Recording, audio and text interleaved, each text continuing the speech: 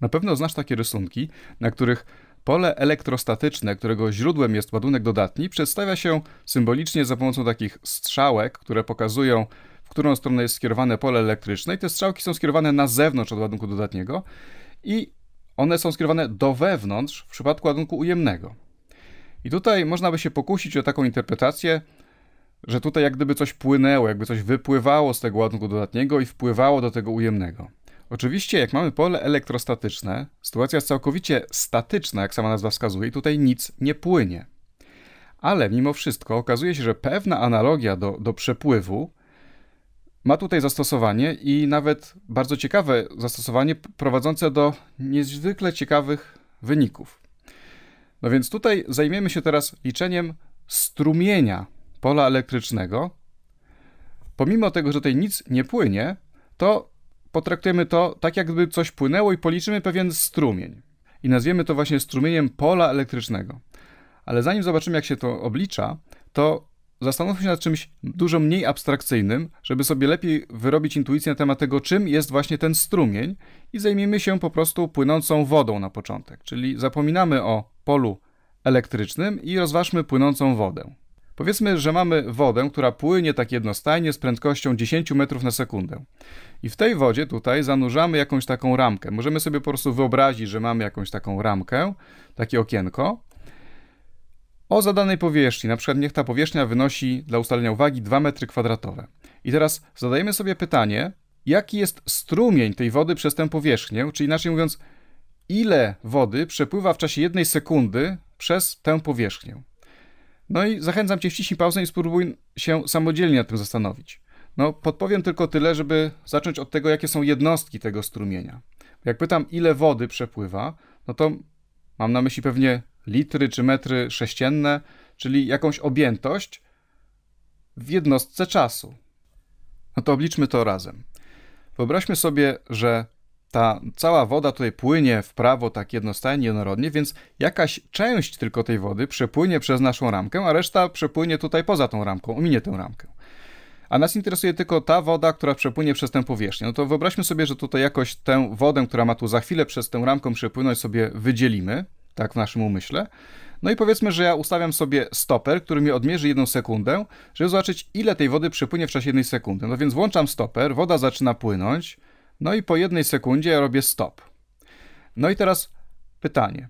O ile się tutaj ta woda przesunęła, jeżeli płynie 10 metrów na sekundę, w czasie jednej sekundy, no to jest oczywiste, że tutaj się przesunęliśmy o 10 metrów.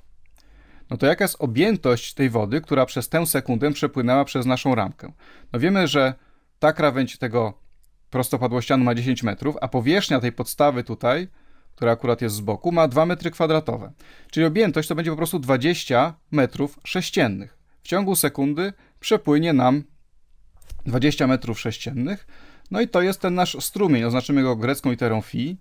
Strumień naszej wody, no to będzie 10 metrów objętość razy 2 metry kwadratowe, to jest powierzchnia.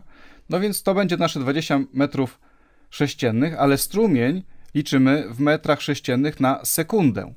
Więc tu musimy gdzieś jeszcze podzielić przez sekundę, no to aż się prosi, żeby tutaj dopisać tę sekundę w mianowniku tutaj, no bo rozpoznajmy wtedy w tej wielkości 10 metrów na sekundę, że to jest prędkość, że to jest prędkość, z jaką płynie woda. No i strumień, tak jak mówiliśmy, to jest 20 metrów sześciennych na sekundę.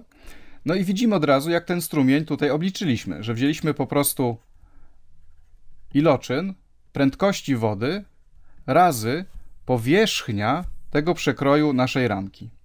I to jest nasz wzór na strumień płynącej wody przez powierzchnię S. No to teraz wróćmy do naszego pola elektrycznego. Czyli znowu mamy taką ramkę, na której rozpięta jest pewna powierzchnia. I poprzednio liczyliśmy, ile wody przepływa przez tę powierzchnię, liczyliśmy strumień i w tym strumieniu pojawiała się prędkość. A prędkość, no to my wiemy, że to jest pewna wielkość wektorowa, czyli jak woda płynie, to możemy sobie wyobrażać, że w każdym punkcie objętości jest prędkość, która opisuje, jak w tym miejscu woda płynie, z jaką prędkością, w którą stronę. No więc prędkość takiej wody, no to jest pewne pole wektorowe. W każdym punkcie objętości mamy jakiś wektor, który opisuje prędkość wody w tym punkcie. No i teraz przez analogię możemy strumień obliczyć dla dowolnego pola wektorowego, niekoniecznie pola prędkości. Możemy na przykład właśnie wziąć strumień pola elektrycznego, że zamiast wektorów, które opisują prędkość wody w każdym punkcie, bierzemy wektory, które opisują wartość pola elektrycznego w każdym punkcie. No i my tutaj na razie zrobiliśmy to w sposób taki bardzo prosty, bardzo, dla bardzo szczególnej sytuacji, mianowicie wtedy, kiedy ten przepływ wody był taki jednorodny, jednostajny. Do temu odpowiada takie jednorodne, stałe pole elektryczne. No i analogicznie, jak weźmiemy sobie takie jednorodne, stałe pole elektryczne i taką ramkę, która jest ustawiona prostopadle do tego pola, no to w tym szczególnym przypadku możemy zdefiniować sobie strumień pola elektrycznego przez tę powierzchnię właśnie w taki sam sposób, że tutaj będzie powierzchnia tak jak była, czyli tutaj mamy tę powierzchnię S, mnożoną przez wartość natężenia tego pola, czyli przez E. No i to będzie strumień pola elektrycznego. Przez analogię do tego, co było poprzednio, możemy to tak obliczyć. No i oczywiście ten strumień pola elektrycznego będzie w zupełnie innych jednostkach, bo tutaj zamiast prędkości wstawiliśmy pole elektryczne, które ma zupełnie inną jednostkę. No to dla porządku sobie przypomnijmy, jakie są te jednostki. Jak, jaka jest jednostka pola elektrycznego? No po pomnożeniu przez ładunek daj, dostajemy siłę. Czyli pole elektryczne, no to możemy napisać, że to jest newton przez coulomb. No a powierzchnia to jest w metrach kwadratowych, tak jak była, czyli razy metr kwadrat. Czyli takie są jednostki strumienia elektrycznego. No nie ma to tutaj dla nas akurat większego znaczenia na razie, jakie są te jednostki, ale piszę to, żeby podkreślić, że to jest inna wielkość fizyczna, ona ma zupełnie inne jednostki. To nie są metry sześcienne na sekundę, które były dla strumienia prędkości. Dobrze. No i tutaj powiedziałem, że ten przypadek, który rozważamy, jest bardzo szczególny. Mianowicie, kiedy to pole jest takie jednorodne, stałe, a ramka jest prostopadła do, do tego pola. No i teraz trzeba się zastanowić, co się stanie, jak to trzeba uogólnić na inne przypadki. Na przykład zaczniemy od tego, że ta ramka może być pod kątem względem tego pola. Tak samo mogła być pod kątem względem tego pola prędkości przy przepływie wody. No i co wtedy trzeba zrobić? Zastanów się samodzielnie, co wtedy trzeba zrobić. No, żeby to sobie lepiej wyobrazić, to możemy tutaj trochę prostszy rysunek zrobić, czyli powiedzmy, że patrzymy na te ramki, na te powierzchnie, tak zupełnie z boku. No i widzimy, że przez tę powierzchnię, która jest prostopadle ustawiona do, do tego pola, przepływa więcej tego pola niż przez tę powierzchnię taką samą, ale nachyloną tutaj pod kątem. No bo widzimy, że chociażby te skrajne linie tutaj na górze czy na dole, one przepływają przez tę powierzchnię wtedy, kiedy ona jest tutaj pionowa, a wtedy, kiedy jest pochylona, to już przepływają poza tą powierzchnią. No i żeby to lepiej przeanalizować, to możemy sobie wyobrazić, że tutaj ja patrzę na tę naszą powierzchnię yy, wzdłuż linii pola. No i żeby obliczyć strumień tylko przez tę powierzchnię, no to istotne są tylko te linie pola, które się mieszczą między tą linią, która ogranicza tę powierzchnię od góry, a tą linią, która ogranicza od dołu. I te linie to je rysuję równolegle do linii pola. Czyli widzimy, że to, co jest tutaj istotne, to jest ile przepływa tego pola przez taką powierzchnię, którą teraz tutaj wyświetliłem, która jest prostopadła do linii pola i ona powstaje właśnie w ten sposób, że my tę nachyloną powierzchnię rzutujemy na płaszczyznę prostopadłą do linii pola. No i to możemy nazwać jakąś efektywną powierzchnią, czy też jej rzutem prostopadłym i oznaczymy to przez S prostopadłe, czyli S prostopadłe to jest rzut tej naszej powierzchni na płaszczyznę prostopadłą do linii pola. No więc widzimy, że w tych naszych wzorach to tak naprawdę trzeba tutaj coś poprawić, bo tutaj ma nie być po prostu powierzchnia, tylko jeżeli chcemy uwzględnić również fakt, że ta powierzchnia może nie być prostopadła do przepływu wody, czy do kierunku przepływu wody, czy do y, kierunku pola elektrycznego, no to musimy zrzutować ją na płaszczyznę prostopadłą, czyli tutaj to jest drobna poprawka, tutaj napiszemy sobie wszędzie S prostopadłe, S prostopadłe i uwzględnienie tego, że ta powierzchnia może być pochylona, już mamy z głowy. Przy czym, jak to zależy od tego kąta, to o tym opowiem w kolejnym filmie. Tutaj możemy sobie jeszcze to tak tylko jakościowo przeanalizować. Mianowicie, jasne jest, że jak ten kąt będzie coraz większy, jak to będziemy coraz bardziej pochylać, to ten strumień będzie coraz mniejszy, no bo ten, ten rzut na płaszczyznę prostopadłą będzie miał coraz mniejszą powierzchnię. No i w granicy, jak tutaj ta powierzchnia będzie całkowicie wzdłuż linii pola, to ta powierzchnia efektywna, ta, powie ta część prostopadła będzie po prostu zero, no i strumień będzie zero. No i rzeczywiście to jest zgodne z naszą intuicją, no bo jeżeli powierzchnia jest wzdłuż linii pola, to przez tę powierzchnię tej nic nie przepływa. Cały przepływ jest równoległy do tej powierzchni i przez tą powierzchnię tutaj nic nie przepływa na drugą stronę. No i zapraszam do obejrzenia kolejnego filmu, gdzie ja dokładnie opiszę, jak obliczyć tę zrzutowaną powierzchnię, jaka jest dokładnie zależność od kąta. No a teraz tutaj przejdziemy do zastanowienia się nad tym, co zrobić, jak właśnie to pole przestaje być jednorodne. Nie tylko powierzchnia może być krzywa, ale i pole może być jednorodne. No i w takim najbardziej ogólnym przypadku to mamy taką sytuację, że mamy jakąś krzywą powierzchnię, dowolnie zakrzywioną, no i pole, które tutaj też może się zmieniać w przestrzeni w jakiś dowolny sposób, byle tylko oczywiście spełniało równania elektrostatyki. No i teraz chcemy obliczyć strumień takiego dowolnego pola, które się zmienia w, w przestrzeni, przez taką dowolną krzywą powierzchnię. No to jak my to robimy? No, standardowo robimy to w ten sposób, że dzielimy sobie tę powierzchnię na takie bardzo malutkie kawałeczki.